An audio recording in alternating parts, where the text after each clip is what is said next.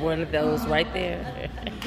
he set it up at my favorite park, Chapel Hill Park, and then everybody bought blankets, and he gave it. I know the new Gatorade just came out. It-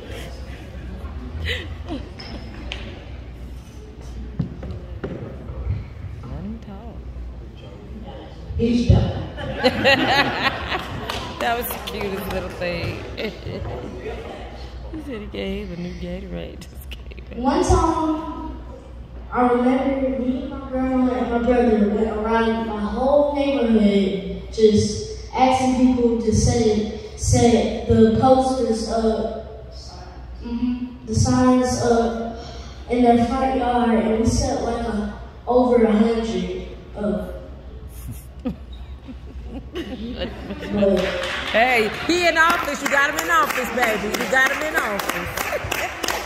oh, we got what you saying. We got it.